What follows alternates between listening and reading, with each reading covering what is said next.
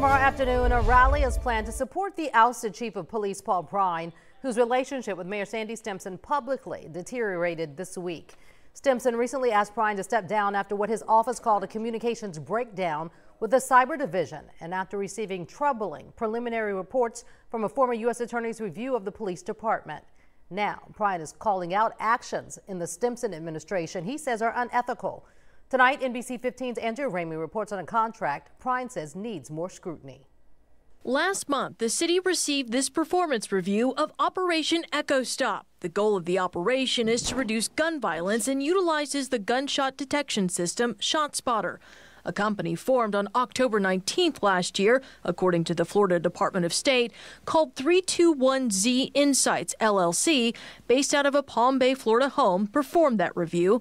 Records show it cost the city $92,000, and the contract went into effect November 21st of last year. Um, I couldn't find a business, couldn't find a website, couldn't find a business name, couldn't find the president's name that was on the letterhead.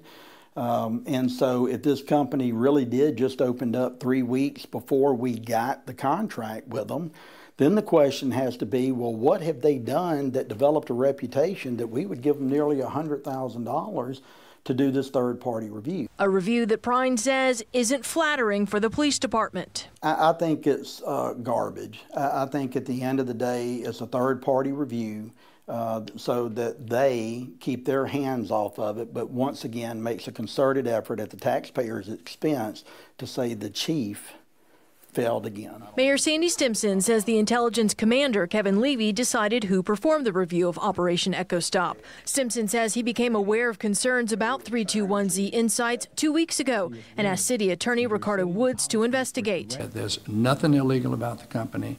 Uh, the, the lady who wrote the report, her husband used to be with the National, Security, a National Security Agency, and so uh, I think she formed the business because of being a, a women-owned business and the opportunities that go with being a minority-owned business. You know, at this point in time, they have revealed nothing that shows any impropriety or illegality. A city spokesperson says the contract for the review was not bid out because the city does not bid professional services and noted the contract was approved by the city council. The spokesperson also says the husband of the 321Z Insights president had previously worked for Securus Technologies, which performed accreditation reviews of the Gulf Coast Technology Center. Andrea Ramey, NBC 15 News. A spokesperson for the city also tells us the president of 321Z Insights is a technical writer and her husband has the subject matter expertise to perform the review. Now, the rally that is being held Saturday in support of Chief Prine has been moved to Municipal Park. Officers organizing the rally say with the amount of people vowing to come, the original location would not accommodate the crowd. The number of folks on the Rally for Chief Prine Facebook page has now grown to more than 4,000. The rally is at noon tomorrow. For the latest updates on this story and more, be sure to download our NBC 15 News app and sign up for push alerts for breaking news on the go. It's free. Just scan the QR code on your screen to get started.